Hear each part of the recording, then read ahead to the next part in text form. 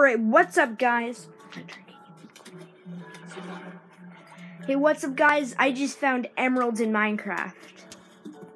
I like, I'm in an extreme hills biome.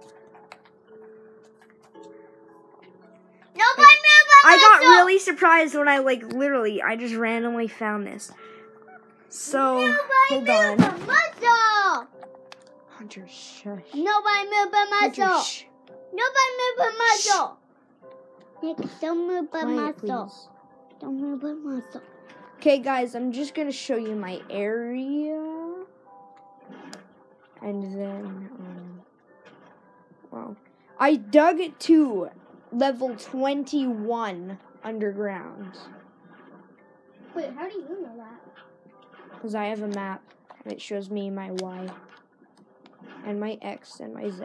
My Y is my favorite though because it shows me how far underground I am. I miss my home. I miss my home. I miss my home. I miss my home. I miss my home. I miss my home. I don't know where So, yeah, I go. I'm at the top. I'm right here. I'm on a extreme hill biome. So I hope this video is a little tiny bit helpful to some of you. And they bound to bless. When will die or take away.